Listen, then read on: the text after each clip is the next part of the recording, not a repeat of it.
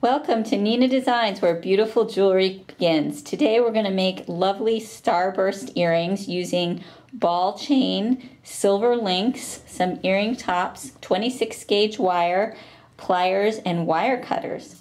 So in order to get started, we're going to take our ball chain, we're going to wrap it around the link. We're going to leave a little bit of extra and we're going to snip it.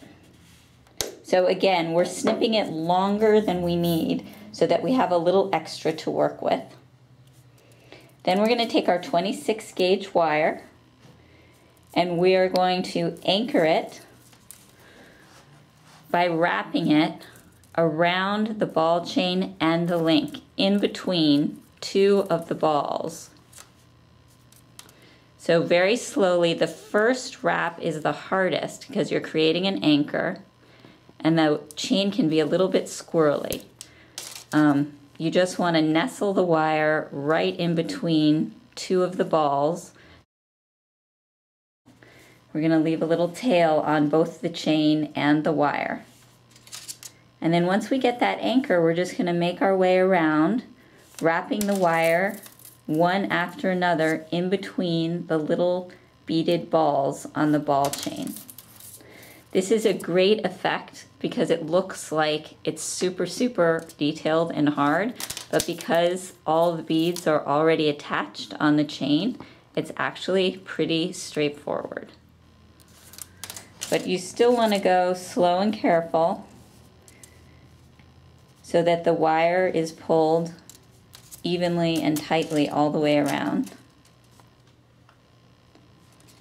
And it creates a very nice radial effect, almost like the spokes on a bicycle.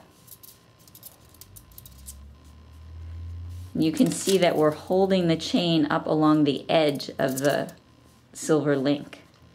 And that creates, again, a nice trim and a contrast with the gold and the silver. So now as we come around to the end here, we're going to leave a gap, so we're not going to wire wrap all the way until the chain tips meet. We're going to leave a little gap, and then we're going to trim the chain, and we're going to do a double wrap of the wire. And that will anchor the end so it doesn't come unwrapped. And then we're going to do the same on the beginning side we trim the train and we do a double wrap of the wire. And there's still going to be a little tiny gap which is where we're going to put our earring top our earring hump and then you can see we're using the pliers just to tuck the tips of the wire so they don't get caught on anything.